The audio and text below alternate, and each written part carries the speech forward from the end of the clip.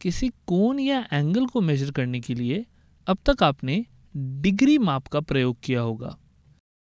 तो डिग्री माप में आपको पता है कि अगर ये केंद्र सी है सेंटर सी है, और मैं आपको कहूँ कि आप इस पॉइंट ए से इस सेंटर के अबाउट 30 डिग्री घूम जाओ तो आप यहाँ पे कहीं पे आओगे। अगर मैं आपको कहूँ कि 90 डिग्री घूम जाओ तो आपको पता होगा शायद कि आपको यहाँ पे आना है। इसको हम राइट एंगल भी बोलते हैं। अगर मैं 180 डिग्री कहूँ तो शायद आप यहाँ पे कहीं पे आओगे। और अगर 360 बोलूँ तो आप एक पूरा चक्कर ख़त्म करके वापस यहाँ पे आ जाओगे। है ना? बट सवाल ये है कि इस पूरे चक्कर को हम 360 डिग्री ही क्यों बोलते हैं? हम इसको 100 डिग्री क्यों नहीं बोलते? या 1000 डिग्री क्यों नहीं बोलते? ये 360 नंबर कहाँ से आया? क्या ये एक वृत्त या सर्कल की कोई खास प्रॉपर्टी होती है? नहीं। ये जो नंबर है 360 डिग्री, ये आया है हमारे पूर्वजों से।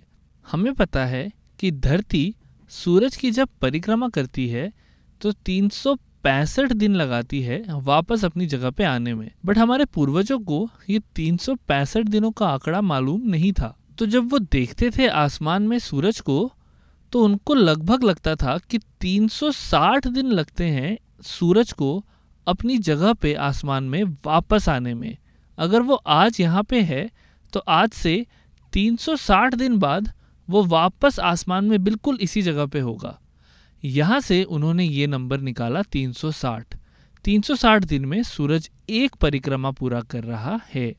इसीलिए हम 360 डिग्री का आज तक प्रयोग करते हैं। लेकिन इस नंबर का एक सर्कल से कोई खास रिश्ता नहीं है। इस वीडियो में हम एक नए माप के बारे में सीखेंगे, जिसे हम कहेंगे रेडियन माप। और इस माप का सर्कल से बहुत खास रिश्ता होने वाला है। उसी सेंटर को ले लेते हैं और उसी प्रारंभिक भुजा, यानी इनिशियल साइड को ले लेते हैं। यहाँ से यहाँ तक का जो डिस्टेंस है, इसको मान लो हम आर के बराबर ले लेते हैं। अगर मैं आपसे अब उस सर्कल में घूमने को कहूँ बट आर डिस्टेंस चलने को कहूँ, जो कि इसके रेडियस के बराबर है, एक रेडियस के बराबर है तो यहाँ पे अब जो एंगल बन रहा है, इस एंगल को हम कहते हैं एक रेडियन अगर मैं आपको यहाँ से टू आर डिस्टेंस चलने को कहूँ, यानी कि आर से दो गुना डिस्टेंस तो आप पहले एक आर चले और फिर एक और आर चले। इस सर्कल में ही चलना है तो अब जो ये एंगल बन रहा है, इसको हम कहेंगे टू रेडियन, ये हो जाएगा हमारा टू रेडियन। तो इस तरीके से हम एक नए माप, एक नई इकाई को परिभाषित करते हैं रेडियन। चलो, यहाँ पे मैं आपसे एक सवाल पूछता हूँ।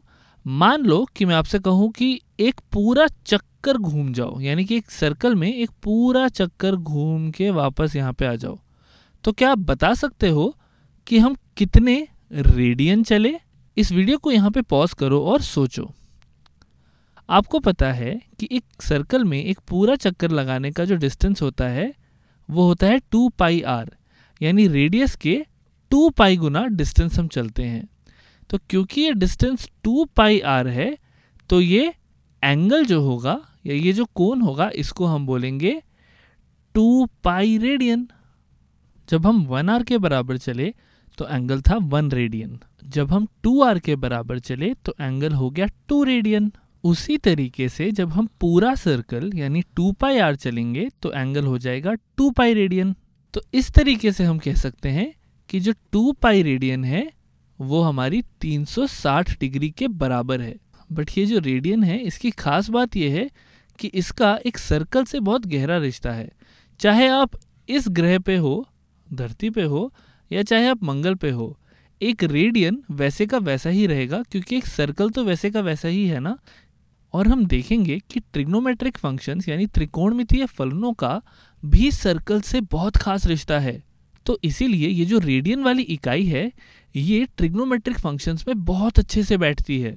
तो इसीलिए हम आपकी ज़िंदगी में ये नई इकाई लेके आई हैं। सिर्फ़ आपको परेशान करने के लिए नहीं कि डिग्री तो था ही तो क्यों रेडियन भी सीखना है?